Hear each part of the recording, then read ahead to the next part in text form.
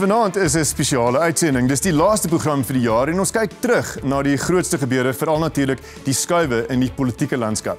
Laat ons wegval by die jaar wat die regerende party agter die rug het. In Maart vanjaar is Pieter Louw Meiburg se boek Gangster State: Unraveling Ace Magashule's Web of Capture gepubliseer. Daar was gewelddadige betogings tydens 'n boekbekendstelling in Sandton omdat mense kwaad was oor wat die boek oor die ANC se sekretaris-generaal te sê gehad het. Minder as 'n maand later het die ANC in die algemene verkiesing 57,5% van die stemme gekry teenoor die 62% wat die party in 2014 gekry het. Dit beteken die party het 1,4 miljoen minder stemme vanjaar gekry as in 2014. Ramaphosa het eers 3 weke na die verkiesing sy kabinet aangekondig en ontslaag geraak van sekere van oud-president Jacob Zuma se loyaliste. Dit is egter steeds as 'n kompromiskabinet beskryf wat saamgestel is om opponerende kampe binne die ANC tevrede te hou. Kort daarna het Ysmagashule skokgolwe deur ekonomiese kringe gestuur deur te sê die party se nasionale uitvoerende komitee het ooreengekom dat die Reservebank se mandaat uitgebrei moet word. President Cyril Ramaphosa het in 'n verklaring die vuur probeer blus. In Julie het die openbare beskermer, advokaat Busisiwe Mqobane, bevind dat Ramaphosa doelbewus die parlement mislei het oor skenkings wat sy ANC presidentsveldtog van die omstrede maatskappy Bosasa ontvang het. Dit was die eerste van vele hofgedinge teen Mqobane. Pravin Gordhan sou haar ook in die hof sien. Sekere ontleeders beskou Mqobane as 'n sleutelpion in die skaakspel tussen die sogenaamde Zuma en Ramaphosa kamp. In Augustus is 'n omstrede ekonomiese plan deur die tesourier bekend gestel en die minister van Finansies, Tito Mboweni, word veral hierna beskou as die stem in die party wat vir ekonomiese hervorming veg. Die ANC het die jaar steeds bly sukkel oor hoe om leiers wat van korrupsie beskuldig word te hanteer. Die voormalige burgemeester van die eThekwini Metro, Zandile Gumede, is van korrupsie en bedrog aangekla en die voormalige minister van staatsveiligheid, Bongani Bongo, is op aanklagte van korrupsie in hegtenis geneem. Ek sit hier in die middel van 'n paneel van wyses, Dr. Teens Elof, uitvoerende hoof van die Evide Klerk Stichting, Dr. Oscar van Heerden, politieke kommentator, Theo Venter, beleidsontleder by die NWI se Sakeskool en Alida Kok, lektor in politieke wetenskap by Akademia. Oscar, ek wil graag by jou begin. Die ANC het uh, so 57% in die verkiesing gekry. Was dit onder die omstandighede 'n goeie of 'n slegte vertoning vir die party? Definitief 'n slegte. 'n slegte. slegte vertoning. Kyk, hulle hulle kom van 62% af. Uh, 57 ek dink die mense het gesê wat hulle dink van die ANC en die feit dat hulle nie saamstem met die laaste 9 jaar van Zuma se administrasie nie. Ek dink die stemmers het uitgekom en gesê julle moet bietjie hoor wat ons sê. Wanneer Ramaphosa kamptein het natuurlik gesê dat as dit nie vir hom was nie sou hulle nog slegter gevaar het as die 57% ja. koop jy dit? En nog, ek dink daar is 'n waarheidselement. Die Cyril faktor. Ja, ek dink daar was 'n Cyril faktor. Ek dink daar's baie baie mense gesê ons ons het 'n nuwe begin. Ander het natuurlik vir die EFF gestem omdat hulle 'n nuwe begin daar wou gehad het. Maar ek dink daar's 'n faktor wat ons nooit weet nie. Maar ek dink dis dis 'n faktor wat ons in ag moet neem dat dit kon swakker gewees het vir die ANC as nie vir Cyril was. Daai Cyril faktor teens was eintlik Gauteng. Gauteng het Cyril gedra.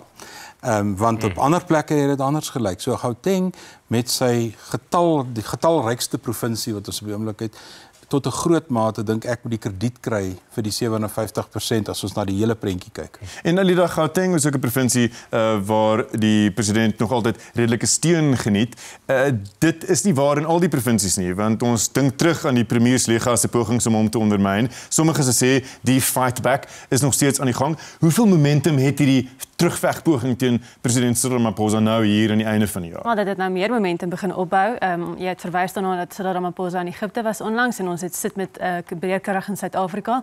En ons nou 'n faksie of 'n poging of 'n veldtog wat gelei word onder andere deur wel ehm um, betrokkenes soos David Mabuza byvoorbeeld. Ehm um, wat 'n uh, faksie of 'n veldtog lei om Ramaphosa te ontslaan uit sy ampt.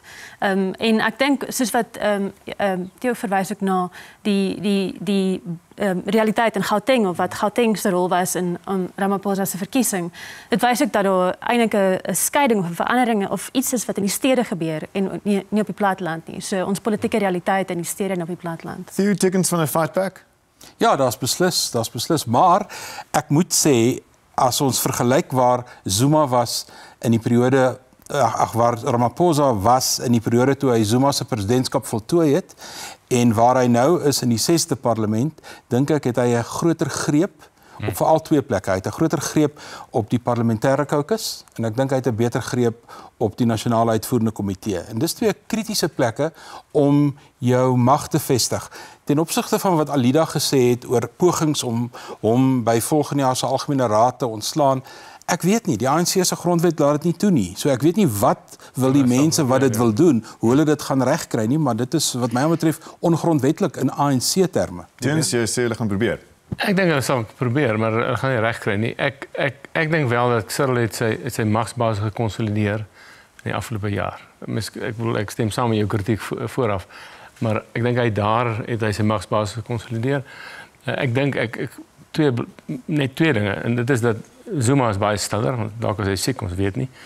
En en die tweede is Ysma Gashula is baie stiller. Ek bedoel die, eerste ding in 'n lang tyd wat hy gesê het vandag is daar's eenheid tussen ons wat natuurlik twak is, maar so ek dink hulle stadig besig om daai magsbasis te konsolideer. Ek dink en ek dink baie mense dink hy moes dit gouer gedoen het, hy moes dit sterker gedoen het maar ek dink dit gebeur. Goed, maar hy was nou so 'n uh, jaar en 'n half in die stoel, maar behoorlik van my maand af Oscar verkies as 'n uh, eh, as as die as die president van die land. Mm -hmm. Wat is volgens jou sy grootste prestasies as mens nou dink aan die enkelinge wat gearresteer is, ehm um, stappe wat hy gedoen het om die land op die regte koers te sit. Wat sou jy op sy aftik op op sy boks? Al eerstens sodra hy ingekom het, het hy 10 van die ministers aan die pad gesteek. Zuma minister Zwane en onder andere.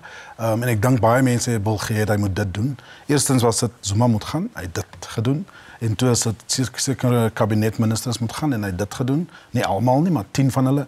En daarna het hy gekonsentreer om die instansies, die konstitusionele instansies in in uh te, te probeer uitsorteer en jy weet die vervolgings sag die valke.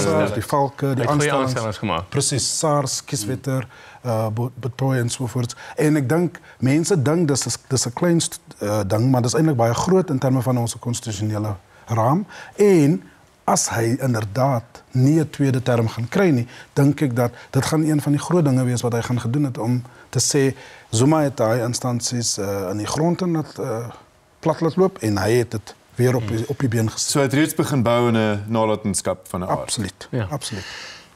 Ek het met Johan van Sail van Sanlam, ex Sanlam een keer gepraat hier in die middel van die jaar. Sê hy het, hy het met hulle gesprek gehad, het hulle vir hom gesê hulle het 'n opname gemaak in die staatsdepartemente landwyd provinsiaal was daar 700 sleutelposte wat deur Zuma aanstellings ehm um, ingeneem is.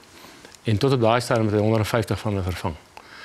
Maar hy en dit was in 5 maande. So dit gaan nog 'n jaar en 'n half wees as mens dink wat jy moet. En dis dis die probleem. Dis nie so maklik om een in Suid-Afrika met ons arbeidswetgewing net te fire nie.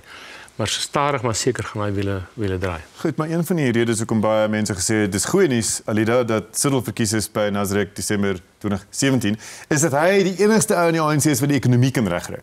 Watter betekenisvolle ekonomiese hervormings indien enige het ons gesien sedert sy verkiesing? Wel, ek, ek dink wat ek wel wil uitlig en ek gaan 'n bietjie anders reageer as wat jy vir my nou gevra het. Ehm um, die die klem wat Cyril Ramaphosa plaas op 'n tipe 'n neoliberale of 'n liberale beleid. Die in die die kritiek wat sy kamp wat insluit Pravin Gordhan en Tito Mboweni ontvang, ehm um, dui ook op iets daar's 'n spanning tussen ons wetgewende en uitvoerende gesag, daar's 'n tipe samesmelting omdat die ANC so dominante party is in die parlement. En die ANC caucus wil uh, die president en sy kamp ver, laat verantwoord dat hulle in lyn moet wees met 2017 beleid uh, wat die ANC op besluit het. Ehm um, en hier's 'n spanning wat ontstaan en want eintlik wat gebeur is die president president en sy kabinet moet ook die land bestuur. Ons het verantwoordelikheid om die land te bestuur en besluite te neem wat verdelig is vir die land. Ehm um, en nie net te voldoen aan ANC caucus beleid nie. So in hierdie ekonomiese beleid sluit aan by dit. En vir kom ons gebruik Tito Mboweni se Augustus dokument uh, wat wyd deur die markte uh, en selfs die oppositie verwelkom is. As voorbeeld van dit wat Alida nou beskryf, daar is tog 'n baie duidelike kontras tussen die tipe Suid-Afrika wat Tito hom verbeel en wat die uh, wat Nasrek wou gehad het. Of? Ja, want wat ons in Suid-Afrika op die oomblik het, is die spanning tussen party-ideologie en wat die werklikheid is. Die die eise van die ekonomie wat die wat die ekonomiese groei van die land vereis is heeltemal anders as wat ANC beleid op die oomblik vra. En Tito se dokument is 'n voorbeeld van 'n pragmatiese dokument wat sê wat is die meriete van die saak? Wat moet ons doen? Ons moet soveel geld spandeer aan water, aan landbou, wat wat wat.